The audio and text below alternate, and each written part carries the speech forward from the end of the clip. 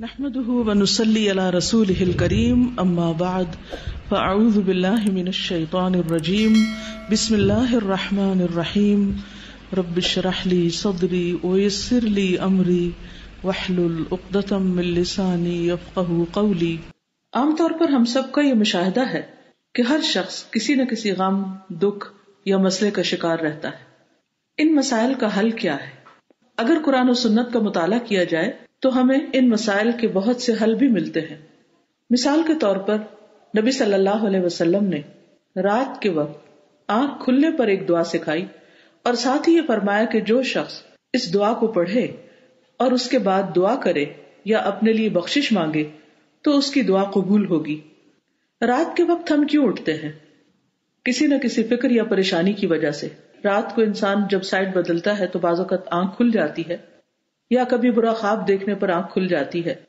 اس وقت اگر یہ دعا پڑھ لیں، تو انشاءاللہ اللہ غموں اور دکھوں کا مداوع ہو سکتا ہے، کیونکہ وہ قبولیت کا وقت ہوتا ہے۔ یہ دعا آپ میں سے بہت سے لوگوں کو آتی بھی ہوگی۔ صرف ضرورت اس بات کی ہے کہ اس کو پڑھنے کی عادت ڈال لی جائے۔ دعا ہے، لا الہ الا اللہ وحدہ لا شریک لہ لہ الملک و لہ الحمد وهو على كل شيء قدیر۔ الحمد للہ و سبحان اللہ ولا الہ الا اللہ واللہ اکبر ولا حول ولا قوت الا باللہ۔ بخاری کی روایت میں آتا ہے کہ جو شخص رات کو آنکھ کھلنے پر اس دعا کو پڑھے اور پھر کہے اللہ مغفر لی، اے اللہ مجھے بخش دے یا کوئی دعا کرے تو اس کی دعا قبول ہو جاتی ہے۔ اور اگر وہ اٹھے، وضو کرے اور نماز پڑھے تو اس کی نماز قبول ہو جاتی ہے۔ ہم میں سے کوئی ایسا نہیں کہ جس کی رات کے وقت آنکھ نہ کھلتی ہو، جس کو دعا کی قبولیت کا شوق نہ ہو، جو کسی مسئلے کا شکار نہ ہو۔